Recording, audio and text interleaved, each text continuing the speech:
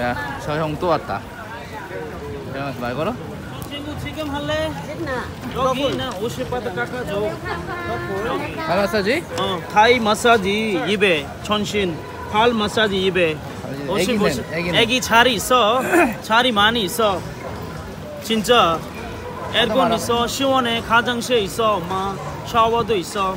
샤워 마사지 하려면 200. 한 시간에 200. 애기 자리 있어. 자리 많이 있어. 어디에서 어딘데? 여기서 여기서. 사우타이 마사지.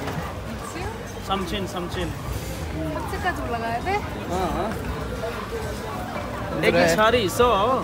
애기도 마사지 받으려고. 어 오케이 오케이 애기도 있어 받아 말아.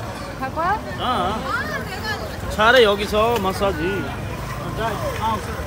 뭐야 다이 마사지 발, foot, only foot massage. 애기? 전부 다 foot massage. 애기도 애기도. 애기도 foot massage. 안녕 라이아빠예요. 멍멍. Hey 오늘은 태국 카오산 로드에 왔다구. 이곳에 오면 진짜 한국말 되게 잘하는 형이 있는데요. 이 사람이 진짜 영업도 잘해요. 이 형 따라서 마사지 집을 쭉 가다 보면 3층에 있는데 약간 올드보이 느낌도 나고 그러는데 아, 생각보다 아주 좋았습니다. 이 안에는 한국 사람밖에 없어요.